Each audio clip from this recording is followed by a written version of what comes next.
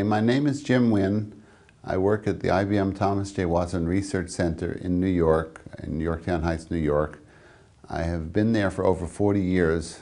Um, I joined IBM Research 41 and a half years ago, but was fortunate to start at the Zurich Research Lab, and uh, my wife and I had one wonderful year and a half in, in Switzerland at the beginning of my uh, post-schooling. I earned my PhD in applied physics at Harvard. My PhD advisor was Nicholas Bloembergen, who later won the Nobel Prize in uh, physics. Maybe I contributed a little bit to that. and I've been working in laser science my entire professional career. The general atmosphere at the Watson Research Center at that point when I was started work was that Bell Labs was the best place in the world and we were number two, and we were going to strive to be as good as they were. I called my group Laser Physics and Chemistry.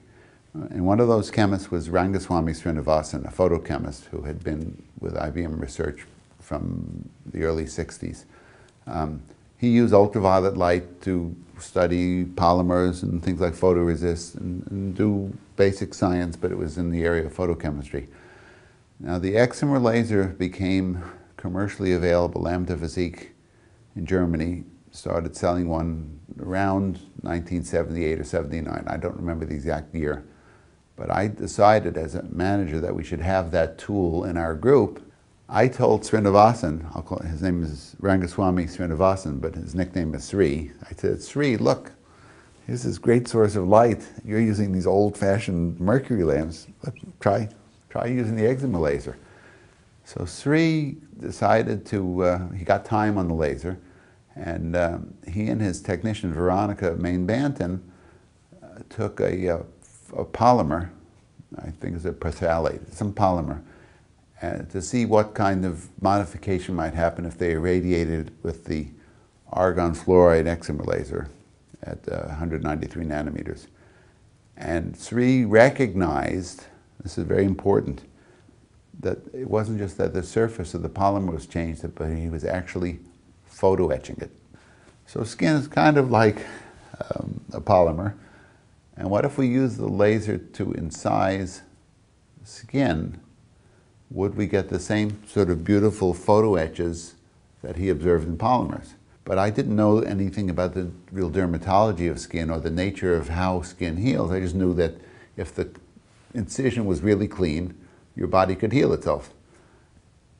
And therefore, if this laser were to make a really super clean incision in skin, it might heal without any scarring. The breakthrough was the day after Thanksgiving in 1981.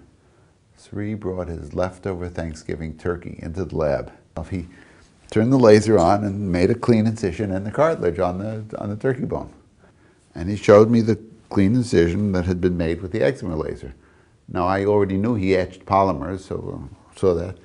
So I said, hmm, that's interesting do we really have a new form of surgery? Let me try to make a comparable incision with the laser that I use. In my lab, I had a frequency doubled Q-switch YAG laser. So I had green light at 532 nanometers, high, short pulse, high, high peak power. The pulse duration was similar to the excimer laser. The peak power was, was similar, but one wavelength was green and the other one was ultraviolet at 193 nanometers. So I took this cartilage into my lab, turned on my Quanta-Ray uh, frequency double YAG, took out the green, measured how much power there was, and proceeded to try to make an incision in this turkey cartilage next to the beautiful groove that had been produced by Srinivasan and uh, Blum. And all I could do was burn and char it.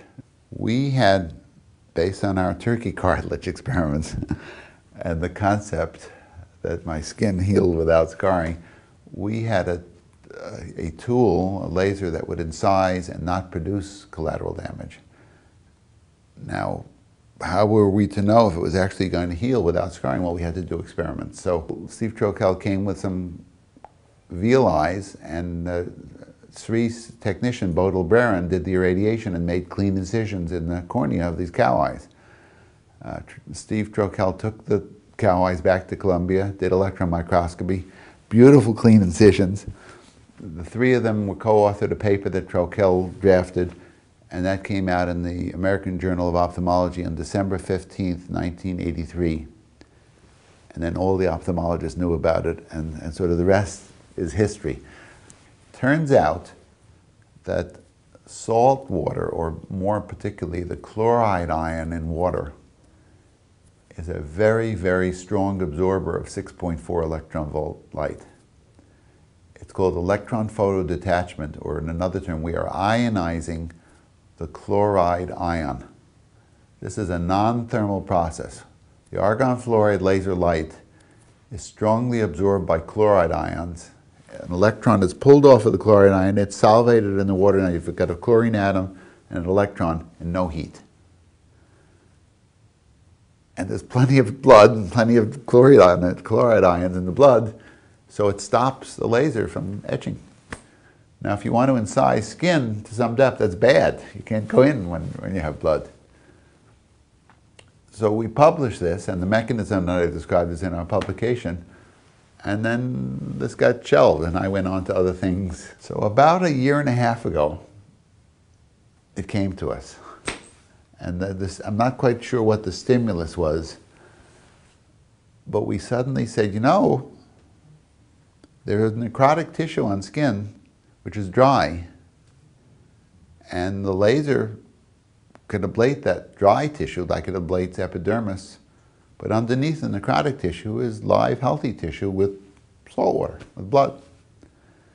So, oh my God, this is amazing.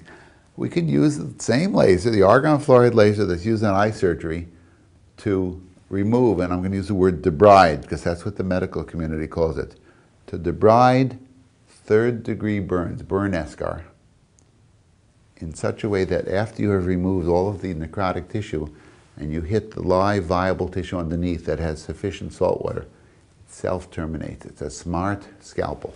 The argon fluoride is a, an ultra-precise, ultra-fine sandpaper that is self-terminating. When it gets down to viable tissue with sufficient salt water, it will not do any more collateral damage.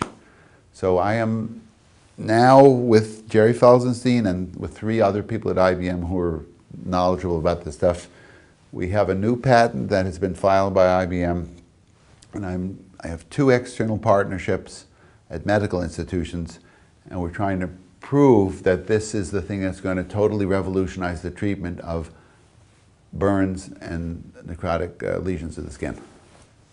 And I expect nothing less than total success.